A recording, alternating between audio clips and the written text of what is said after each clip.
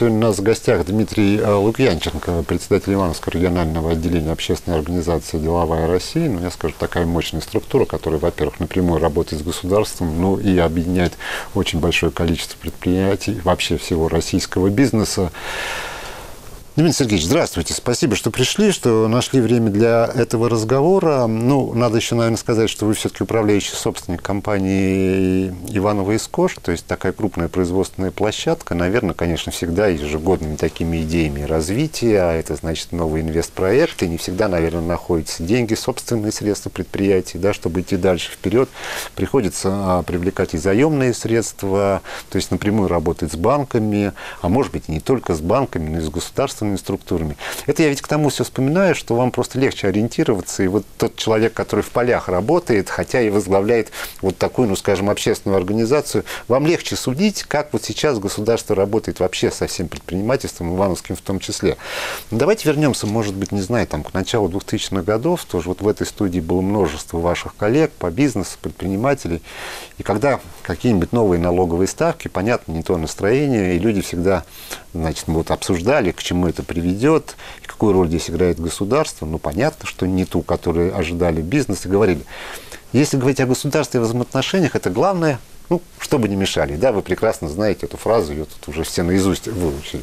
И вдруг, не знаю, 5, 7, 8, 10 лет назад ситуация начала кардинально меняться. Уже не по разные стороны баррикад, а как будто бы партнеры. А что случилось? Что вот забывается эта фраза, лишь бы не мешали. Теперь бы помогли, да еще как помогли. Здравствуйте, Илья. А, очень достаточно сложный вопрос, и он очень а, длинный получился. А, попробую на него ответить. На собственном примере. Мы, как и, наверное, большинство предпринимателей, часть их осталась и сейчас с, таким же, с такой же позицией, с таким же мнением, считают, что чем тише воды и ниже травы быть, чтобы государство не замечало, лишь бы не мешало, тем лучше. На самом деле вы правы, ну, наверное, там порядка 5-7 лет назад а, государство, ну, наверное, во-первых, стало играть достаточно большую роль у нас. С одной стороны, с точки зрения и какого-то как заказчика, с другой стороны, определенного регулятора, с третьей стороны, а, возможно, на федеральном уровне изменились какие-то приоритеты по развитию экономики, и стали появляться различные ну, а, меры поддержки, так назовем. А, безусловно, если откатывать еще дальше, они наверняка были и раньше. Но просто, возможно, а, сам формат а, подачи вот этот был немножко иной.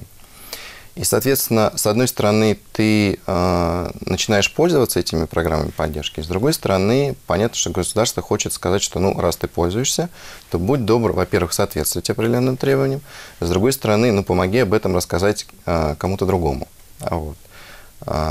И что конкретно поменялось? Ну, вот сложно сказать. Но на нашем примере, вот мы как раз в 2007 году а, воспользовались двумя большими программами инвестиционными. В 2017, прошу прощения, не 2007. А, в 2017 году воспользовались двумя большими программами и запустили большой инвестиционный проект, который сейчас ну, достаточно успешно себя Это, чувствует. в том числе через Фонд развития промышленности, да? Да, там у нас были э, программы одна э, Минпромторг, вот, э, по постановлению, не помню сейчас его на память, и льготный займ э, ФРП, Федерального э, фонда развития промышленности. Вот. То есть пошли не в банк, а пошли, ну, по сути, пошли такие слов, серьезные э, федеральные, федеральные структуры. И там да. условия интереснее, там, да? там деньги дешевле, скажем. А, ну, понятно, что там а, разные есть меры поддержки. С одной стороны, они а, монетарные, ну, то есть денежные, да, с другой стороны, очень много поддерж... видов поддержки, которые ну, консультационные какие-то, не всегда деньгами, а какими-то другими вещами. И банки, ну, на самом деле, да и до сих пор их коммерческие ну, условия, так скажем, не всегда позволяют, во всяком случае, идти в инвестиции, потому что а, ну, вот этих дешевых денег их как бы нет. И только за счет э, ну, наверное, вмешательство государства, в хорошем смысле слова, как бы вмешательство. Эти программы существуют, и ими можно пользоваться. Хотя, знаете, вот государство это такая ведь, ну, согласитесь, какая-то фигура речи, да, надо вот все-таки как-то, ну, объяснить, разделить. что это такое, да, или разделить. Что это только, федеральные чиновники или местные чиновники? Вы сказали такую одну фразу, ну да, когда мы поняли, что пошла поддержка, и к нам было такое обращение, ну, а, платите налоги, да, и все-таки соблюдайте закон в своей предпринимательской бизнес-деятельности, ну и главное, распространяйте, что вообще такая возможность существует между коллегами своими. Да. Очень странно вообще. А что мы здесь? Местные власти, вот как такое, знаете, ну промежуточное, ну может быть в данном случае и главное звено, как популяризатор вот этих вот мер. Мы его вычеркиваем, что ли? Или не справлялись, или не, справляются до сих пор, скажем?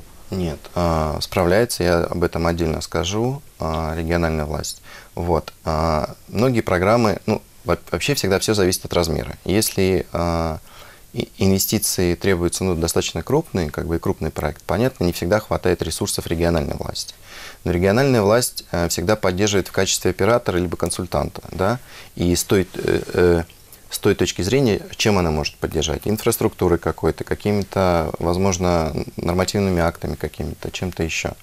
А большие, если мы говорим там ресурсы даже денежные, да, это всегда участие как бы федеральных а, структур того же Фонда развития промышленности, который при Минпромторге, самого же Минпромторга, мэровские программы а, Министерства экономики и развития. Вот.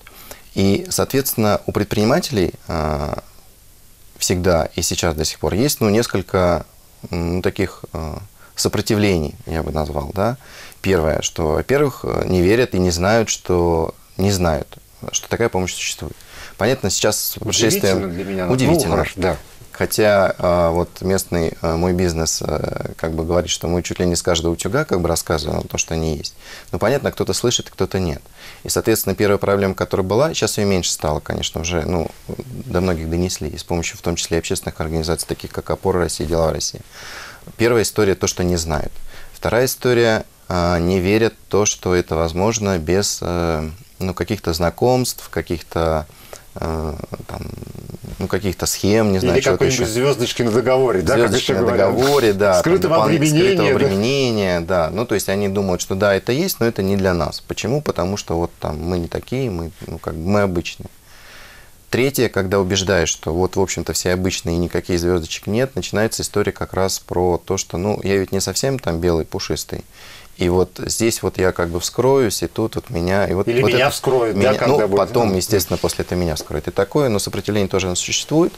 А, но в любом случае процесс того, что все, в общем-то, выходят в белое поле, он, он а, идет, происходит. И компании, которые практически 100% платят налоги, гораздо больше становятся. Вот, и, соответственно, они получают, ну, такой, ну, пускай вот эту дополнительную возможность а, работать э, с государственной поддержкой. Дмитрий Сергеевич, я, кстати, вот эти четыре пункта, по-моему, перечислили. Я думаю, вы сейчас еще три. вот пять, три. Ну, mm-hmm. хорошо. Я думаю, что вы четвертый, например, скажете, да, что и знают, и вроде и перед налоговыми службами абсолютно чистые, и все звездочки просчитывают, и не знаю, что и, и уверены, что не будет никакого дополнительного обременения но, тем не менее, просто не решаются. Ведь что такое, например, государственные федеральные программы и банковские предложения? Разница иногда, иногда ощутима, но это не означает, разница есть, что у государства деньги тоже абсолютно бесплатные, там тоже определенный процент, а предприниматель понимает, что он не выдержит и этого государственного предложения. Для него это тоже много, и он не может просчитать-то свой бизнес, ну, а тут надо, наверное, на 2, на 3 года, на 4 вперед. У него вот тут вот живу сегодняшним днем, и даже этих, вроде кажется, льготных средств, они для него слишком большие. Бывают еще такие моменты? Бывает, вы правы. А, есть, э, ну, некое, наверное, еще опасение, что а, работа с, так, с такими мерами поддержки потребует ну, дополнительных каких-то знаний. Знаний, каких-то ресурсов, дополнительных людей, кто в этом разбирается, и обучает этих людей и так далее. Мы не знаем, мы не понимаем. Вот. А, потому что вот к нам, допустим, как к таким получателям очень часто приезжают и говорят, ну, расскажите, объясните, что вы, ну, как вы себя ведете, как вы документы готовите, как вы отчетность, потому что, безусловно, это накладывает определенный, ну, дополнительную какую-то работу, вот. Ну, я скажу честно, иногда не больше, чем работа с коммерческими банками, там, с нашими мастодонтами, с какими-то большими. А, чаще другая проблема возникает, что а, наши предприниматели – даже если им дай бесплатно денег а, там завтра, сегодня, послезавтра, они не будут, не всегда будут знать, что с ними делать. Ну, то есть вот нет нет, наверное, какой-то идеи. Идеи или стратегического планирования. Стратегического да? планирования, понимания, вы правы, в том же понимании, что, что будет завтра, угу. как можно вообще в условиях неопределенности как бы думать о, о каких-то проектах и так далее. Вот это, наверное, больше, наверное, такой ограничивающий фактор именно в том, чтобы пользовались или не пользовались. Вот смотрите, когда на самом деле на уровне федерации готова целая масса предложений там, для малого, среднего, крупного бизнеса, это уже не, не так важно. Главное, что есть меры поддержки. Значит, на уровне, я так понимаю, региональной исполнительной власти, прежде всего губернатора, это все спускается, ну, с такой задачей, распространяй, объясняй и популяризируй, то есть собирайся собираясь с бизнесом и все это ему объяснять. Это вот так вот приблизительно, э, приблизительно э, работает, получается, да? Приблизительно так, скажу э, больше. Ну, за последние вот несколько лет, э, ну, давайте там по вехам пройдем, да, в 2019 году, по-моему, открылся э, мой бизнес. Да, центр. Угу. Э, притом он, ну, это же не просто, э, ну, название. Под его крышей несколько э, региональных институтов э, таких находится, как тот же региональный фонд развития промышленности, как Ивановский фонд поддержки предпринимателей.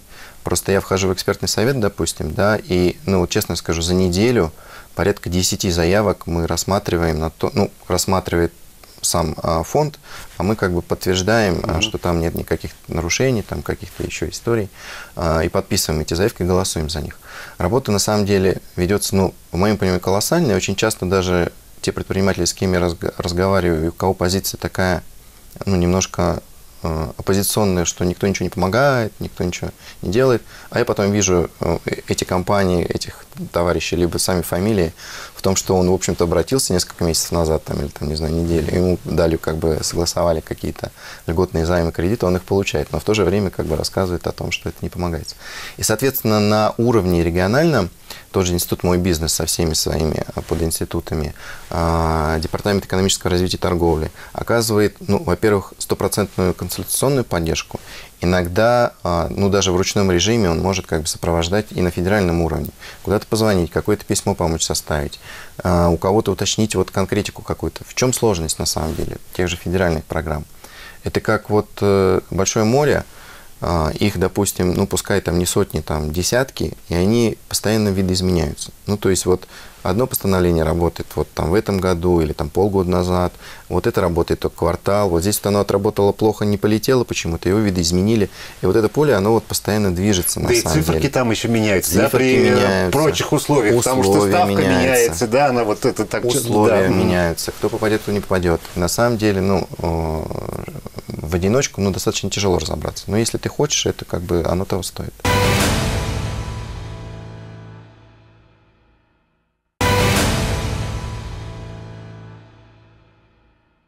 А вообще вот отклик. Вот оно сделано предложение, оно предпринимателю понравилось, он начинает оформлять документы, а деньги-то, они, может быть, потом и придут, ему надо через три недели, он поверил в это, а они придут через три месяца, а это уже поздно для Если него. мы говорим про Иванский фонд поддержки э, предпринимательства, там достаточно быстро. Он как раз и создан а, ну, не то что в помощь, а как, э, чтобы решать те проблемы, которые невозможно решить с коммерческими банками. Mm-hmm. Когда не хватает какого-то обеспечения, когда не хватает каких-то залогов, чего-то еще. Помимо того, что там ставка ну, ниже, чем в коммерческом банке, там еще и условия немножко попроще.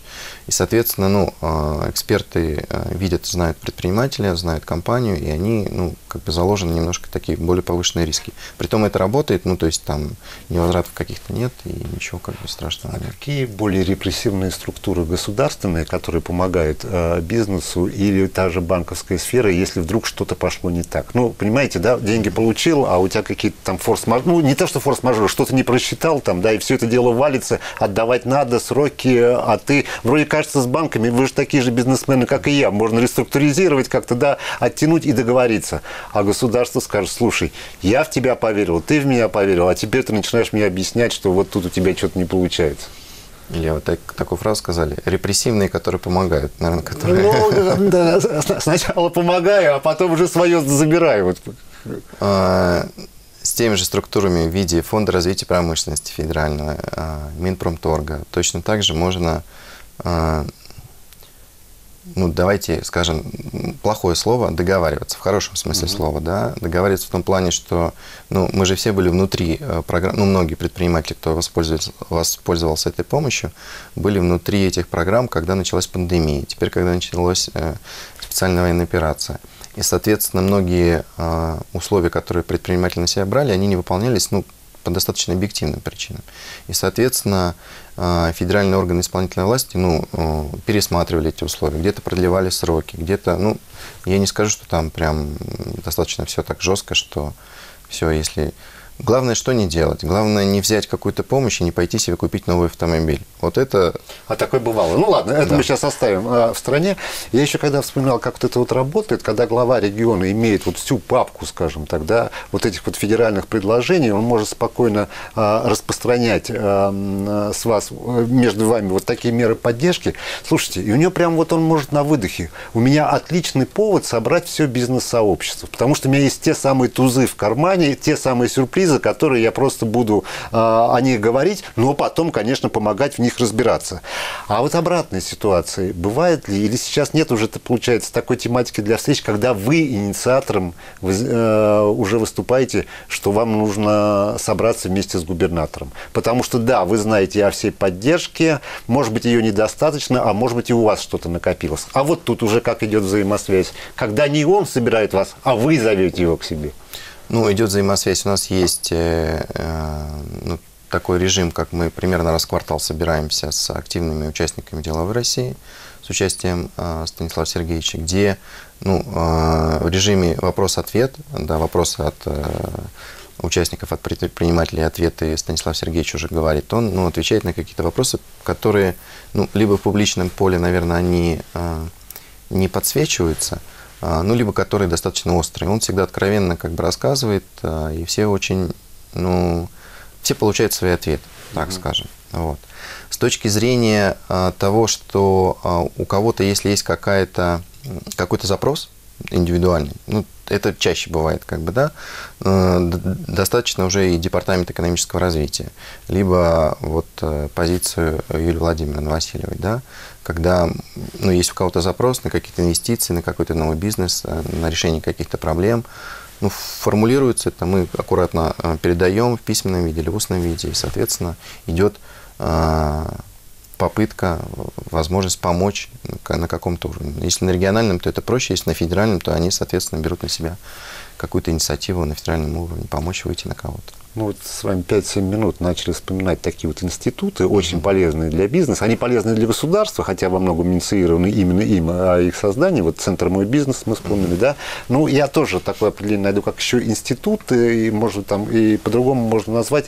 Ну, помните, это территория опережающего развития, ТАСР, да, это тоже ведь история, по-моему, ну, 5-6 лет, по-моему, да. Теперь особая экономическая зона. Вот эти вещи, они звучат здорово из уст, э, скажем, местных чиновников, но это интересная, скажем, такая, это эффективные идеи, скажем. Вот, вот мне хочется вашу точку зрения услышать. Безусловно, эффективные идеи мы видим по, а, ну, как бы, наверное, очередь не стоит из тех предприятий, которые хотят туда попасть. Но а, наполняемость этих а, особых экономических зон, она существует. И, скорее всего, ну, если выскажу свое личное мнение, как бы, да, если у тебя есть предприятие, ты перевозить его туда не, не будешь никогда, даже несмотря на налоговые льготы, на что-то Поэтому еще. Иваново схож не в одной из этих структур, да? А ну, как ты его перевезешь, да? А там... перевозить надо, да? Потому что это, это территория не на бумаге, да, на она бумаге, настоящая, она, да? Она настоящая. Mm-hmm. Вот то, что касательно открытия новых производств, безусловно, здесь вот как раз а, те преимущества, они, ну, выходят на первый уровень, как бы, да, когда ты открываешь новое производство. Потому что ты можешь все Э, с нуля выстроить там, у тебя и оборудование там, и люди там, и инфраструктура, подключение всех коммуникаций и так далее.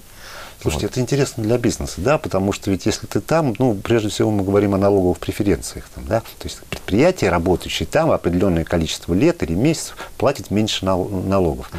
Как вот эту отличную, эффективную идею тому же главе региона донести не до бизнеса, а до обычного человека, что эти усилия, они действительно имеют такой результат. Вот я, как обычный гражданин, почему должен радоваться, например, за компанию ну, там, Иванова и Скош, если у нее новое подразделение пойдет в ТАССР или в особую экономическую зону? Потому что у вас просто люди будут тогда получать побольше зарплату, скажем так, да? А я-то скажу, слушайте, вы-то будете развиваться, но налоги-то, которые, в принципе, и на меня тратятся, вы платить будете меньше.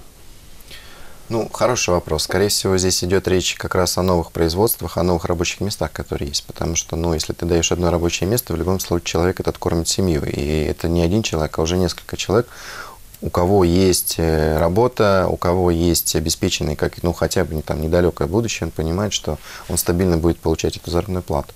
И, скорее всего, Э, доносить до обычного а, гражданина. Ну, вот, наверное, вот это все в первую ну, очередь надо. И зарплату ведь ему свою платит, он же платит налог на доход физических лиц. Там-то как, никаких поблажек нету, да, да а это чуть ли... Нет, да, вы правы. А вот, а, не знаю, просто есть ли у вас сейчас в голове а, такие конкретные цифры, ну, может быть, порядок вы представляете, да? Вот мы говорим, меры поддержки, меры поддержки. Но это прям кричащая тема а, стала со стороны государства, конечно, вот прежде всего в пандемийные uh-huh. годы. И тогда, ну, тоже разные определения. В Америке, по-моему, это называлось вертолетными деньгами, uh-huh. когда прямо, ну, давали миллионы, десятки миллионов, только удержи свои коллективы, да, чтобы они все-таки продолжали трудиться, а не распускай их там по домам или не увольняй. Ну вот с вашей коллегой, э, с Василием Скворцовым не так давно э, говорил, он все-таки другую организацию представляет. Он мне сказал, слушай, ну сейчас немножко э, изменилась вот эта вот поддержка. Таких денег уже не дают, и поддерживается не впрямую бизнес, а поддерживается потребитель его услуг. Это так на самом деле? То есть да. поддерживается человек прежде всего, который а... потом купит, скажем так, да. Да, а, все так, потому что, ну, возможно, а, сама ситуация немножко изменилась, да. Если мы говорили про а, пандемию, то эта вся история была, в общем-то, общая для всех, как бы, да, такая. И, соответственно, там поддерживали все предприятия для того, чтобы сотрудников не увольняли, давали какую-то помощь, вот. То сейчас, ну, какие-то из отраслей, они, в общем-то, себя хорошо чувствуют, какие-то не очень хорошо. И, соответственно, поддержка пошла уже, ну, можно так сказать, более адресная или точечная. Вот. И ну, она разная. Все правильно Василий Владимирович вы сказал. Смотрите, вы говорите, это значит получается адресная такая поддержка, и даже вот в отрасли одна себя более-менее чувствует, другая не очень. А потребительство такого, вот такие подходы, они не разовьют. Я так плохенько сейчас вот ну, еле выживаю, зато меня государство будет там спасать. И опять спасет, потому что я развиваться не собираюсь. А ты, например, там текстильная отрасль, ты, у тебя и так все хорошо, ну ты не получишь, ну а я буду вот на таком иждивении. Вот так скажем, иждивенческое, а не потребительское, вот правильное слово. Ну, э, наверное, как бы размер размер этой помощи, может быть, наверное, не, по, не позволит как бы целиком занять вот эту иждивенческую позицию. Это же просто меры поддержки, на самом деле, а не замещение как бы каких-то mm-hmm. историй. Вот. Что. Вот, кстати, когда встреча с главой региона. Вот смотрите, а есть федеральная инициатива. А что, федеральный чиновник, он прям вот умнее всех, скажем так. Он знает, что нужно в каждом субъекте и в целом отрасли кон- э, конкретной. И поэтому вот выходит с такими предложениями и разрабатываются программы. А если вы считаете, что нет, что, может быть, не то, что там проценты должны быть поменьше или повыше, а что вообще сама методика работы вот с конкретной отраслью должна быть э, иначе. Скажем, обычная Ивановская область, если у нее сформировано, что называется, вот тут, вот на полях какая-то хорошая идея, она имеет шанс, пусть через губернатора, все-таки, ну, если не быть реализованной на федеральном уровне, то хотя бы услышанным услышана один раз, услышана второй раз, а вот потом она уже сформируется ну, в серьезное реформирование какого-нибудь прежнего федерального предложения. Безусловно, да. А, смотрите, если принимаются какие-то законопроекты даже на уровне, ну, либо нормативно-правовые акты на уровне региональной власти, они всегда проходят оценку регулирующего воздействия, так называемый УРВ, у тех же общественных организаций. И «Опора России» вместе с Скворцовым Василием Павельяновичем и «Деловая Россия» вместе с нами в этой оценке всегда участвуют. И где-то мы говорим, да, все, как бы вопросов нет, нас все устраивает, а где-то есть позиция иная и отправляется на доработку. Соответственно, и в опоре России, в России есть э, так называемые ну, в деловой России это называется комитеты при федеральных органах власти, ну, при министерствах, они отраслевые бывают, бывают тематические какие-то. Допустим, у нас есть участник Александра Голубева, кто входит в комитет, у нее сложное название по маркировке. И э, все, что касательно маркировки, мало того, что мы заранее понимаем, что будет происходить, и, соответственно, заранее информируем, мы еще можем участвовать в повестке на самом деле и формировать эту повестку, а что нужно изменить, что работает, что не работает. На самом деле это все э, рабочая такая э, схема, и э, без мнения, как бы это ни казалось, э, наверное, волшебным, без мнения э, предпринимателей такие вещи не принимаются. Бывают, конечно, законопроекты некие и э, некоторые программы, которые, в принципе, не работают, не летят. Ну вот выдумали там, не знаю, что-нибудь, не буду говорить отрасль какой-нибудь, а никто не воспользовался. Почему? Потому что ну, вот, либо потребность неправильно уловили, либо доработали такие условия, что никто не в состоянии как бы их взять. на самом деле, и с точки зрения губернатора, и с точки зрения экономического блока а, регионального, и с точки зрения общественных организаций есть несколько каналов и путей, которые, э, через которые можно формировать какое-то мнение, позицию и доносить что-то. Мы вот, может быть, ошибочно, там, да, вы мне сейчас ответите, так уж заключение нашего разговора, вообще ну, это я с своей точки зрения говорил, да, почему я говорю, что наверняка это ошибочно, как-то успешность э, того или иного бизнеса, предприятия э, я оценивал э, во многом с точки зрения его экспортной составляющей да, то есть неважно сколько это, 10, 15, 20 или 30 процентов там, да, от общей его экономики, но вот если работать в том числе и на экспорт, значит все хорошо. Теперь смотрите, внешние рынки э, закрываются, часть вообще закрывается на какое-то непрогнозируемое будущее, другие рынки еще остаются, но там это далеко, мы их во многом и не знаем, нужно как-то переориентироваться. За счет чего сейчас будет вообще выживать я скажу средний бизнес, только за счет внутреннего потребителя. И насколько вот эта вот надежда, она вот в принципе оправдана, пока внутренний потребитель так серьезно-то деньгами не насыщается и не богатеет?